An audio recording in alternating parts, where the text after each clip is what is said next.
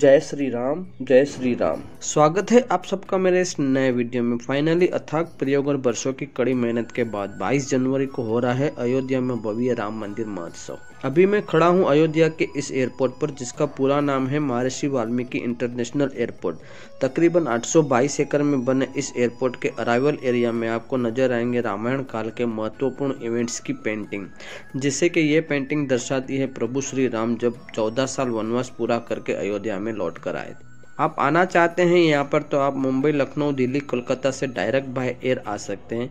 तकरीबन भारत के सभी मुख्य एयरपोर्टों से इसे जोड़ा गया है। अभी मैं खड़ा हूँ उस कुंज पर, जहाँ पर बनाए गए हैं 108 हवन कुंज। अद्भुत है ये दृश्य। इस खूबसूरत दृश्य को देख के मुझे तो ऐसा लगता है कि मैं अभी उस युग में पहुँच चुका हूँ, जिस युग में प्रभु श्री राम का जन्म हुआ था। आपको ये खूबसूरत नज़ारा कैसा लगा, मुझे कमेंट बॉक्स में ज़रूर बताइएगा। मुझे इंतज़ार रहेगा आपकी कमेंट्स का। यह है वंदे मातरम ट्रेन जो अभी गुजर रही है और ये शायद अभी गोरखपुर के लिए जा रही है। गोरखपुर से इसकी दूरी है 155 किलोमीटर की। यह है अयोध्या का रात का नज़ारा और मैं जब यहाँ से गुजरा तो मुझे कुछ लोग यहाँ पे नज़र आए जो निकले हैं अहमदाबाद से साइकिल लेकर और जिन्हें यहाँ पहुँचने में लगे हैं पूरे छब्बीस दिन। ये है कथा सनातन मर्यादा संग्राम की।